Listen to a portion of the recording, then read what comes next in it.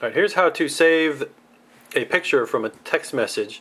So if somebody texts you a picture to an Android phone, here's how you would save it locally to your phone. So first I'm going to click the download button and download the picture. And then, uh, depending on how slow your service is, it the picture opens up. I'm just going to go ahead to this picture because I don't think that one's going to download very quick. Downloading. Ooh, there it is. Yeah, there's my cylinder head. Okay, so this is a picture from the mechanic of my cylinder head. That's going to cost me a ton of money to put back on the car. So if I want to save this to my phone so I'll have it for future reference,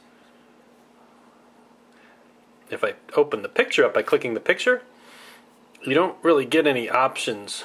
Even if you hit the menu button, you don't get any good options. You get set as, details, slideshow, and settings. But if you want to save it to your actual phone, go back to the original text message and then click in the message next to the picture, not on the picture, but next to the picture. You push push and hold down, and then you get these options: lock message, copy attached to SD card, or call the guy. So I'm going to copy it to my SD card. So now that is saving the picture to the SD card on my phone. So that way I know that the picture will be safe on the SD card that I've got plugged into this particular Android phone.